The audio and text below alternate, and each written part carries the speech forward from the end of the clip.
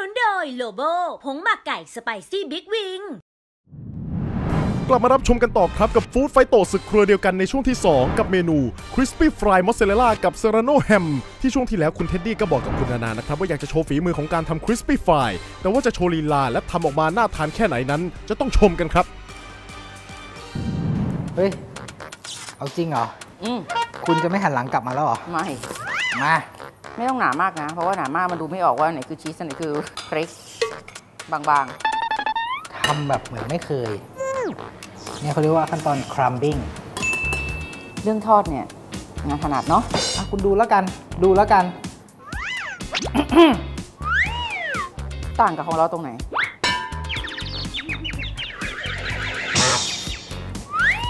เกลียดเอ่อคุณต้องคุมไฟนิดนึงนะครับ ผมรู้สึกว่าไม่ใช่ คุณเลยคำว่า golden brown ไปเยอะมาก อะ ชีสปวดหลังไหมฮะ ชุบสองทีนะชีสอะทำไมอะ เพราะว่าเขาละลาย ขั้นตอนนี้ก็คือการนำพริกหยวกและก็ชีสมอสซาเรลล่าลงไปคลุกกับแป้งทอดกรอบ และก็ชุบไข่ไก่ครับ แล้วก็ต่อด้วยคลุกกับเกล็ดขนมปังอีกทีทำแบบนี้อย่างละ 2 รอบครับ เพื่อให้ห่อหุ้มพริกและชีสเอาไว้ เวลาทอดออกมานั้นแป้งนั้นก็จะดูหนา และก็กรอบน่าทานครับเอาชิ้นเดียวก่อนแล้วกันนะอะชิ้นนี้สวยมากหนึ่งสองสามว้าว เรื่องทอดต้องยกให้ผม เป็นไงครับชีสทอดที่เราใส่ไปเมื่อกี้ มีพัฒนาการขึ้นไหมฮะ น่ากินมาก แต่เราจะไม่ขยับเขาบ่อยนะคะแค่มั่นใจว่าเราซีลครบทุกด้านนะ แค่นั้นแหละ มั่นใจของทอดต้องยกให้ผม คุณมั่นใจจริงนะจริงครับเพราะมันไหลออกมาแล้วอ้าวคุณทอดไม่ดีอะ เราซะงั้น ดู crispy fry mozzarella ชิ้นนี้สิครับ ดูชีสที่มันเยิ้มไหลออกมา โอ้ยมันน่ากินจริง ๆ เราจะมาเคี่ยวซอสมะขามของเรากัน ซอสมะขามนะคะ เราจะเริ่มจากใส่น้ำลงไป ตามด้วยน้ำมะขามเปียกเข้มข้นตราเนเจอร์เทส เดี๋ยวนี้ง่ายมากๆ เราไม่ต้องซื้อมะขามมาคั้นน้ำเองอีกต่อไปแล้ว ปรุงรสนะคะ หลังจากมะขามกับน้ำร้อนแล้วใส่น้ำปลา น้ำตาลปี๊บ คนจนน้ำตาลปี๊บละลาย อย่าตกใจถ้าตอนนี้น้ำจิ้มของเราหรือซอสของเราเนี่ยยังไม่เหนียว เพราะว่าทิ้งเอาไว้ในส่วนผสมเย็นเสร็จแล้วเขาจะข้นขึ้นนะคะ โอเค น้ำตาลปี๊บละลาย เสร็จปุ๊บนะคะ เติมพริกขี้หนูป่นลงไป อันนี้คือจะเป็นในส่วนผสมของซอสที่เราจะมาจิ้ม ถูกไหมครับ ใช่ค่ะ อ่า โอเค ส่วนผสมเรียบร้อยแล้วพักทิ้งไว้จนเย็นค่ะ แล้วเดี๋ยวเรามาจัดจานกัน เอาละครับ ตัวพริกทอดของเราก็เรียบร้อยแล้ว ตัวชีสทอดก็พร้อมนะฮะ อันนี้น้ำจิ้มมะขามอ่าแต่วันนี้ครับอย่างที่บอกเลยพระเอกของเรานะครับ อันนี้จะเป็น jamón serrano นะครับ หรือว่าเป็นแฮม Serrano ที่เราบอก อันนี้ ElPozo ชื่อดังมากๆ หาได้ที่ร้านแบงคอกบ๊อบนะครับ นี่พรีเมียมแบบนี้ไหนครับ เราจะเอามากินยังไงครับเนี่ย จริงๆ กินเปล่าๆ ก็อร่อยแล้วใช่นะฮะแต่วันนี้โจทย์เขาให้มา แล้วให้มาทำเป็นอาหารนะครับมานี่นะ เปิดถุงมาแบบนี้อืมเนี่ยพรีเมียมมากขนาดนี้ชิ้นโตอย่างนี้เลย ว้าว ออกมาแล้วครับ พระเอกของวันนี้ Serrano Ham จากนั้นก็นำ Serrano Ham พับครึ่ง แล้วก็นำ Crispy Fry Mozzarella ม้วนให้อยู่ตรงกลาง แล้วก็นำไม้จิ้มให้เป็นชิ้นพอดีคำครับ ต้องบอกเลยว่าแบบนี้เนี่ยไม่สามารถหาทานได้จริงๆนะครับ คือพรีเมียมมากอะคุณต้องทำเองที่บ้านคุณถึงจะใช้ได้เยอะขนาดนี้นะฮะ จากนั้นเพิ่มความสวยงามของเรา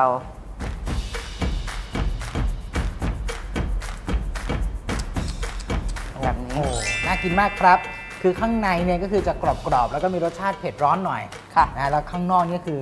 ต้องบอกว่าตัวแฮมเซราโนเนี่ยคือเขาจะมีความเค็มๆเค็มๆนิดๆแต่ว่าเหมือนแบบส่วนมันของเขามันจะมีความหอมนะ แล้วก็เหมือนแบบหวานๆเคี้ยวไปเคี้ยวมาคือเขาจะมีรสชาติออกมา เพลินมากเขาเพลินใช่ไหมากฮะคือมันมีหลายรสชาติอยู่อยู่ในในชิ้นในคำเดียวอะถ้าพูดถึงว่าต่างจากแฮมธรรมดาไงแฮมธรรมดาก็คือคล้ายๆ กับเนื้อจะเป็นคล้ายๆเนื้อไส้กรอกอย่างนั้นนะนะแต่อันนี้ไม่ใช่ อันนี้มันแบบ ยิ่งเคี้ยวรสชาติยิ่งมานะครับเราแนะนำให้กินคนละชิ้นนะสองไม่ได้ใช่ไหมฮะไม่ได้เปลืองนะครับนะอะโอเคโอเค แล้วสาเหตุที่เรามีเหมือนมะเขือเทศไว้อย่างน้อยๆเนี่ยจะได้ตัดรสใช่นะครับ แล้วก็ข้างในของเราเป็นของทอดด้วย มันก็จะได้ตัดเลี่ยนไปด้วยนะครับแหม่จากนั้นนะคะเราก็มีมอสซาเรลล่าของเราไหนๆจะเป็น 2 แล้วก็วาง 2 คู่กันแบบนี้ไปเลยอืมอะ เพิ่มพื้นที่สีเขียว เรียบร้อยแล้วกับเมนู Crispy Fried Mozzarella กับ Serrano Ham ค่ะ Crispy Fried Mozzarella กับ Serrano Ham เสร็จแล้วครับ Serrano Ham ของดีจากสเปน มีความเค็มกลมกล่อมที่ห่อหุ้ม Crispy Fried พริกหยวกที่มีความเผ็ดร้อนและความกรอบ และมอสซาเรลล่าชีสทอดกรอบที่มีความกรอบนอกเยิ้มอยู่ภายใน ทานคู่กับซอสมะขามสูตรเด็ดที่มีรสชาติเลิศรส ช่างเป็นอาหารสไตล์ finger food ที่ทำได้ง่ายๆ และน่าทานจริง ๆ ครับ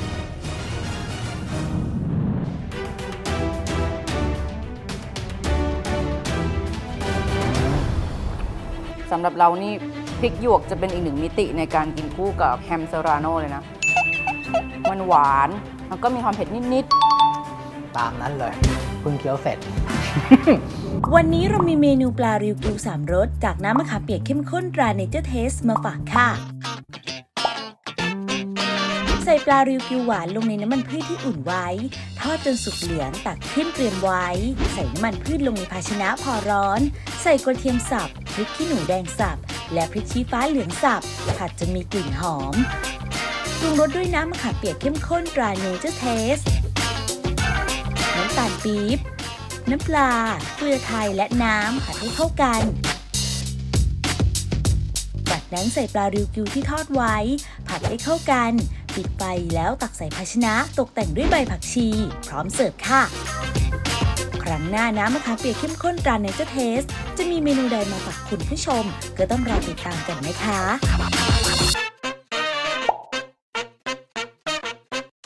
ช่วงอร่อยง่ายได้ใจสนับสนุนโดย Lobo ช่วงอร่อยง่ายได้ใจ วันนี้เรามีเมนูผัดไทยตำถาดมาฝากค่ะ ใส่น้ำมันพืชลงในภาชนะนำขึ้นตั้งไฟ ใส่หอมแดงผัดพอมีกลิ่นหอม ใส่ไชโป๊หวาน เต้าหู้เหลืองและกุ้งแห้งผัดให้เข้ากัน ใส่เส้นเล็กผัดไทยตามด้วยน้ำและซอสปรุงรสผัดไทยราโลโบ ผัดให้เข้ากัน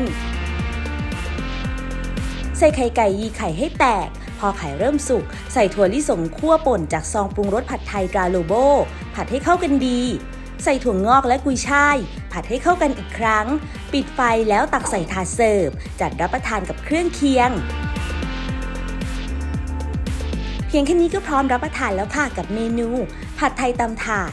มีจำหน่ายแล้ววันนี้ที่ Line add Lobo Shopee Lazada JD Central และ www.lobo.co.th